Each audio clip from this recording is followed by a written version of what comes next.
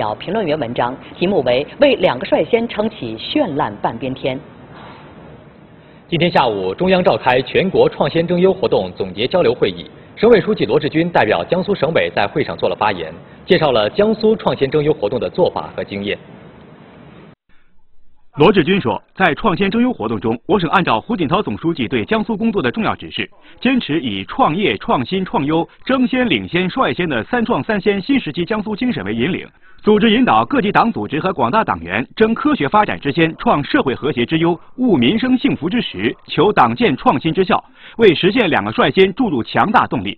一是全力以赴争科学发展之先，我省广泛开展科学发展争一流活动。十三个市和一百零二个县区选学习标杆、找工作差距、定赶超目标。基层党组织和广大党员立足本职岗位，争创一流业绩，带动全社会形成人人争先、行行领先、整体率先的浓厚氛围。二是同心同德，创社会和谐之优。我们组织各级机关党政领导干部到基层了解民情民意，破解发展难题，化解社会矛盾，促进干群关系融洽，促进基层发展稳定，促进机关作风转变，为两个率先营造了和谐社会环境。创新征优活动期间，全省有5.57万名党员干部下基层，走访慰问群众三十多万人，化解各类矛盾纠纷近两万件。三是全心全意务民生幸福之时，全省各地大力实施民生幸福工程，把公共财政向民生领域倾斜，推动实现了城乡低保、新型农村合作医疗、新型农村社会养老保险、城镇居民基本医疗保险和社会养老保险五个全覆盖。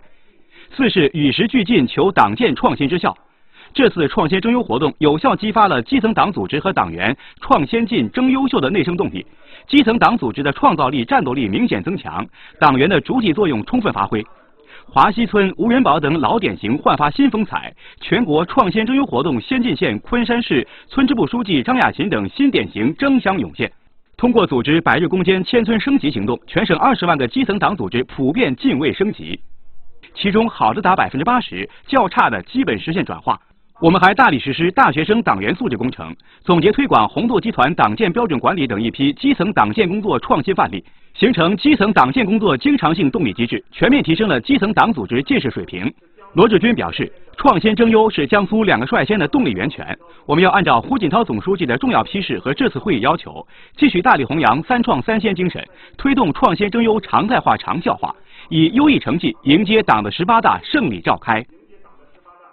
省长李学勇近日先后到苏州、常州调研。他指出，要深刻领会和贯彻落实中央的部署要求，深入贯彻落实全省科技创新大会精神，坚持以改革创新为根本动力，更好地把创新驱。